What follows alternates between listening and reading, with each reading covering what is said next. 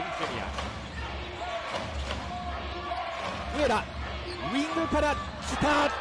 連続スリーポイント上田。今度はウィングから決めてきました。さあ林。上田とのマッチアップ。上田が取った。そしてそのままリングジュニアからアウトナンバーになっている。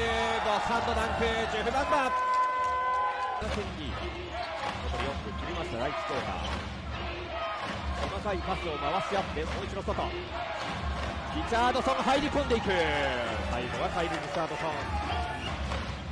中へハーブスもう一度森田。キックに来てピックアンドロール。ハームス決まります。最後はピックアンドフックだったでしょうか。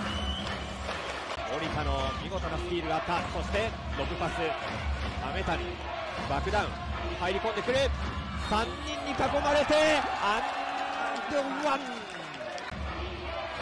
外へ駒水ハームス決めてくる。ショットクロックギリギリでしたが得点認められます。点に乗せた鹿児島。さあそしてオールコートにフェイスが効いている。なんとかフロントコートに持っていった。阿部阿部入り込んで外。ダンクジ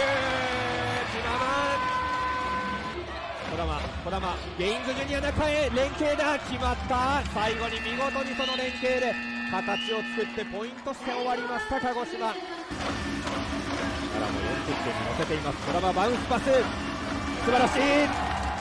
ボスハンドダンク連携を見せた児玉とハームス。そのハームスが来る。ボールを奪う。上田。レイアップ。あブロックショット。ハインズ取り返した。ハインズ取り返した。ファールはない。ファールはない。ここでジャクソンが奈良は入ります。ご覧いただきましょう。この今日はまだここまで6ポイント。ゴール下ゴール下。ポンプフェイクを入れてリチャードソンが決めてきました。さあ84点。鹿児島。ああここスティール藤本シュートは落ちました。なんとか中谷守りきった。その中谷が自分で自分で自分でコーストトゥーコースト中谷。ジャクソンが呼んでいる。中谷。中谷中谷ドライブ。決めた。中谷エリム。鹿児島がまだ3回残して奈良の方も2度残しています。あースリーポイント。シュート打ち切れるか。外へ阿部スリーを打つ。最後のスリーはリングに当たりました。ゲーム終了しました。97対73鹿児島見事に勝利を挙げました